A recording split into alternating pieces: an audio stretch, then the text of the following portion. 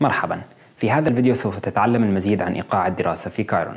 مسارات الدراسة في كايرون تتوفر على خطط دراسية فصلية. ومع ذلك فإن الخطط الدراسية مصممة بشكل عام لتوجيه مسار الطالب الدراسي بحيث تحدد ترتيب الوحدات الدراسية التي يتوجب على الطالب أخذها.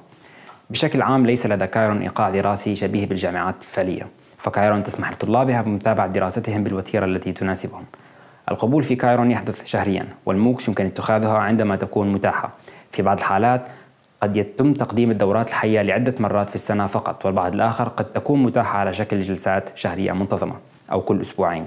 عند البدء في الدراسة سيكون من الجيد الاطلاع على الدورات المخصصة لمساركم والأوقات والتواريخ التي تبدأ بها.